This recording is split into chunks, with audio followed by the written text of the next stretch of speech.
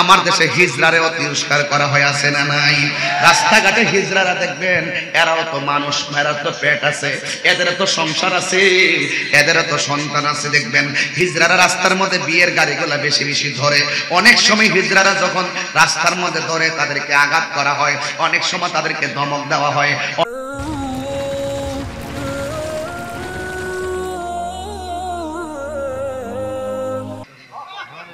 আমার দেশে কালো মানুষ আছে না ভাই?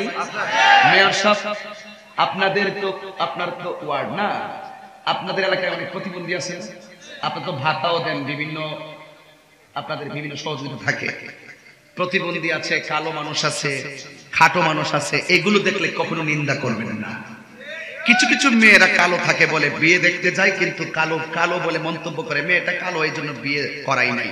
এই কথাটা বলবেন না। বলবেন মানুষকে, নসিবে নাই, তকদিরে নাই, আমরা আরেক দিক দিয়ে দেখব। আপনি যদি বলেন যে মেয়েটা কালো, এই জন্য মেয়েটাকে বিয়ে করা- করার নাই। এই মেয়েটা তার মনে কত কষ্ট পায়, সেটার ওজন আমি দিতে পারব না।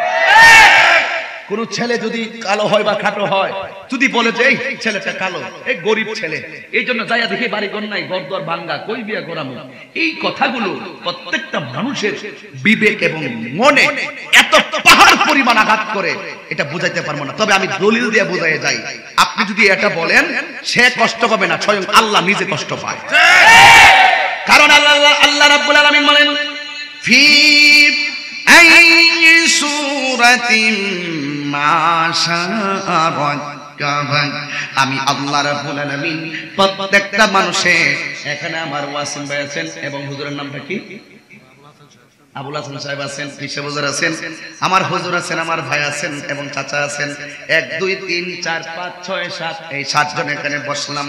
একটা বার গভীর ভাবে চাকায় দেখেন, এদের সবার মধ্য থেকে কিন্তু আমি এলাম কালো। এরপরে দেখেন, এই একজনের চেহারার সঙ্গে আরেকজনের চেহারার কোনো মিল আছে? কথা কোনো মিল আছে? আল্লাহ ফাআদালাক আমি আল্লাহ এই পৃথিবীটাকে সুন্দর সুবিন্যস্ত ভাবে আমি সাজিয়েছি। আর ফি এই পৃথিবীর যতগুলা মানুষের চেহারা আছে, সবগুলা চেহারাকে আমি আল্লাহ যেমন পছন্দ করেছি তেমন ভাবে বানিয়েছি। তো তুমি ঘৃণা করার কে? তোমার যিনি বানাইছে, তারেও তো সে বানাইছে। আমার দেশে বুবারে তিরস্কার করা হয়, আমার দেশে হিজরারেও তিরস্কার করা হয়, আছে না নাই? রাস্তাঘাটে হিজরারা দেখবেন, এরাও তো মানুষ এরা তো পেট আছে, এদের তো সংসার আছে, এদের তো সন্তান আছে, দেখবেন। হিজরারা রাস্তার মধ্যে বিয়ের গাড়িগুলা বেশি বেশি ধরে। অনেক সময় হিজরারা যখন রাস্তার মধ্যে ধরে, তাদেরকে আঘাত করা হয়। অনেক সময় তাদেরকে ধমক দেওয়া হয়। অনেক সময় তাদেরকে একশো টাকা দিতে গেলে একশো বার চিন্তা করে। আরে ভাই, না না, হিজরাও তো আমার আল্লাহর বান্দা, আমিও তো আল্লাহর বান্দা। এরা রাস্তায় ঘুরে ঘুরে টাকা তোলে, আমার পক্ষে তো রাস্তায় ঘুরে টাকা তোলার তুলতে পারি না। কিন্তু আল্লাহ যেহেতু আমাকে তৌফিক দিয়েছে, আপনি তাদের প্রতি মানবতার হাত বাড়াইলে কি কোনো অসুবিধা হবে? আল্লাহ রাব্বুল আলামিন বলেন, লাকাদ খালাকনাল ইনসানা ফি আহসানি তাকওয়িম। হাসান বলে নাই, আহসান বলেছেন ইসমে তফদিলের সিগা। আমি আল্লাহ রাব্বুল আলামিন মানুষকে অতীব সুন্দর নমুনায় বানিয়েছি। এই মানুষগুলা কবরে যাবে। ইমানদারের সঙ্গে কবরের মাটি ভালো আচরণ করবে, আর বেঈমানকে তসনস বানাইয়া ফেলাইব। এই জন্য যুবক, আমার নবী একদিন রাস্তা দিয়ে হাঁটতেছে, হঠাৎ করে দেখলেন দুইটা কবরের মধ্যে আযাব হচ্ছে। আমার নবী দুইটা কবরের ভিতরে দুইটা খেজুরের ডাল কেড়ে দিলেন, আর বলে দিলেন, যতক্ষণ পর্যন্ত খেজুরের ডালগুলো কাঁচা থাকবে, ততদিন পর্যন্ত কবরে আযাবটা হালকা হবে।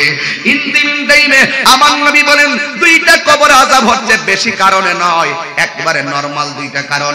এক নাম্বার হলো, একটা কবরের মানুষ পায়খানা প্রস্রাব করে, পবিত্রতা অর্জন করত না। আর একটা কবরের মানুষ তার চুগুলখুরি করত, চুগুলখুরি। এমন চুগুলখুর আমাদের সমাজে আছে না নাই? কাউন্সিলর সাহেবরে বলি, আপনার সঙ্গে বহুত লোক চলছে, আপনার সঙ্গে ওয়ার্ক করছে, আপনার সঙ্গে ঘুরছে, কিন্তু ফাঁকিতে কিছু মানুষ আছে সব সময় আপনার সঙ্গে ছিল। কিছু মানুষ গোপনে আবার আপনার সঙ্গ ছাইরা অন্যদিকে পর্যন্ত চলে গেছে। আমি তাহিরি আমি তাহিরি এলাকায় আসার আগে দোকানপাটে কত আলোচনা হয়েছে, সেটা আমার একটা ধারণা আছে। এটা না আমার একটা বাস্তব অভিজ্ঞতা থেকে মানে বাস্তব যে অভিজ্ঞতা, ভাই, সমাজের মধ্যে আমার রসুল বলেন, কাফের চাইতে মুনাফিক সব চাইতে খারাপ। hatuna balon tek kira